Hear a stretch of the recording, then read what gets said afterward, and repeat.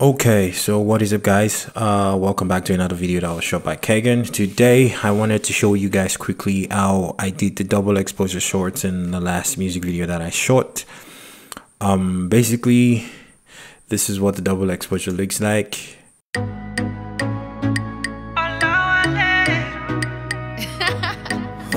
It's Clem Baby. Blessings follow me everywhere I go.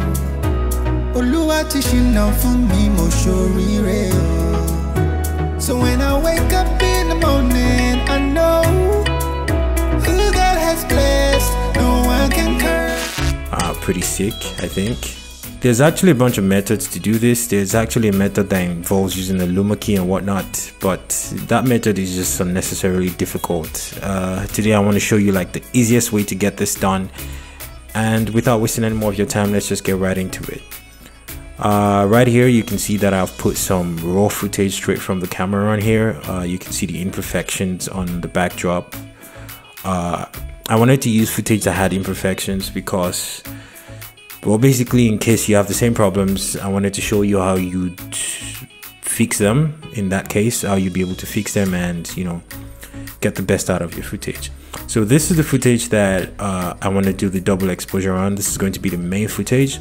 And this is going to be the footage that's going to be in the back. Uh, this is basically just a pot of fire, as you can see. Uh, yeah. And I'm going to be mixing it with another footage from the same shoot with two of these guys dancing basically uh, obviously i'm going to have to color this to make it look better this is straight out of the camera like i said uh like d um so yeah without wasting any more of your time let's just get right into it. The first thing that you're going to want to do is you're going to select the main footage which is this. Uh, you're going to come into uh, your settings uh, your effects sorry. You're going to come into your effects tab. You're going to select color choose the black and white and just slap it on there. Just drag and drop. Great. Now that the footage is black and white you can see it looks weird now uh, what you're going to want to do is you're going to want to come to your coloring board. You could just press command 6 or you know yeah command 6 would do it or you could just come and click the button up here. Um the next thing that you want to do is pull down the exposure for the shadows so the blacks are a little blacker. And you want to take up the exposure for the highlights so that the imperfections completely disappear. You see that? You see that exactly so now it's a completely white background so there's not going to be any misunderstandings uh, when you feel like you're satisfied with what you have then you can basically just stop uh, after you do this after you do this, the next thing you want to do is drag the footage that you want in the background of uh, your act on top of the main footage. Uh, just crop that a little bit so it's the exact same fit. Uh, when you've done that, uh, you want to come into the tab over here. This is the settings tab. Uh, you want to change the blend mode.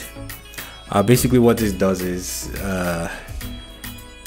basically what you want to do right now is you want to lighten the footage something like this now when you lighten the footage this is what it looks like now it doesn't it doesn't look as good as what i showed you at the beginning which is this but i'm gonna i'm gonna you know i'm gonna i'm gonna show you how to get to that point basically now we want to take the second footage now please note you don't have to use two just one could be enough but I personally like to use two because you know it's just it, looks way better because I can mix a bunch of things and then it can look like super unique.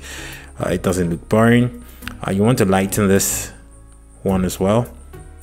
Okay, so now everything looks fine. But here's the problem with this, yeah.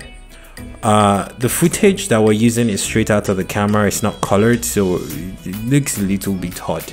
Um, I already have my color grading in an adjustment layer here, so I'm just going to copy that and I'm going to place that on top of here and I'm going to drag it to fit and now we can look at the footage again and see what it looks like. You see that? You see that? That is amazing stuff. That looks beautiful. Uh yeah, so basically that's how you do that's how you do a double exposure shot in Final Cut Pro X really quickly and you don't really have to do anything else. You can try this with all sorts of footage. You can try it with drone footage in the back. You can try it with, like I just did, just random footage that I shot for the shoot. Uh, yeah, and you know, make sure you color correct. You had some color and make it look nice. That's like the best way to make this look good. Uh, I hope this saves you some time and you don't have to go learning how to use Luma keys to do your double exposures. Uh, thank you so much for watching this video and do not forget to subscribe. I will see you guys on another video that was shot by Kagan. Peace.